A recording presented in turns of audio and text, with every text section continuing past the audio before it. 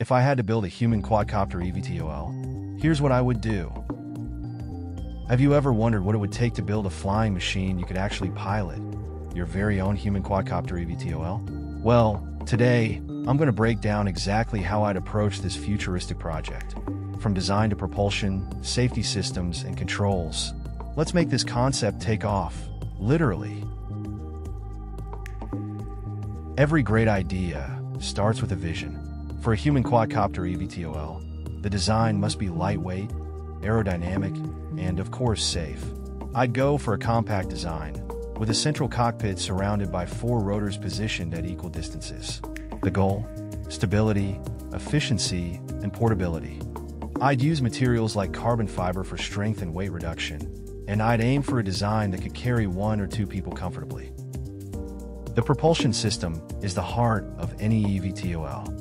I'd opt for highly efficient electric motors, most likely high-torque brushless DC motors. Each rotor would have pitched propellers for maximum control and thrust optimization. For power, I'd use a modular battery system, combining lightweight, high-capacity lithium-sulfur batteries with supercapacitors for burst energy during takeoff and maneuvering. Next up is the brain of the quadcopter, flight control system. I design an advanced onboard computer with redundant PID control algorithms. This would ensure precise balance and responsiveness, even in windy conditions. Think of it like a smart autopilot that adjusts rotor speeds in real time to keep you steady and smooth in the air. Safety is non-negotiable. I'd integrate an emergency parachute system for the entire vehicle, along with multiple redundancies in the flight control hardware. The rotors would have protective shields to minimize risk, and the cockpit would include a crash-resistant cage. And let's not forget about sensors.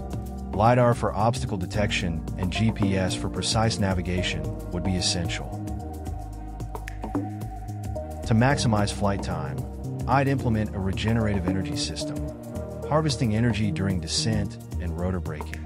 Efficient power management would ensure I could squeeze the maximum range from the battery. With this setup, I'd target a flight time of 30 to 45 minutes per charge, with a quick swap battery system for longer trips. Before putting this EVTOL in the sky, rigorous testing is key. I'd start with scaled down prototypes and flight simulations. Once the design proves stable, it's on to real world testing in controlled environments. Iteration is the name of the game. Every test teaches us something new, helping us refine the design until it's ready for prime time. A human quadcopter EVTOL isn't just a cool toy, it has real-world applications. From personal commuting to search and rescue missions, the possibilities are endless. Imagine beating traffic, delivering supplies to hard-to-reach areas, or just enjoying the thrill of personal flight. The future is limitless. Building a human quadcopter EVTOL is a challenge, but it's also an exciting opportunity to push the boundaries of innovation. So, what do you think of my approach? Have ideas of your own?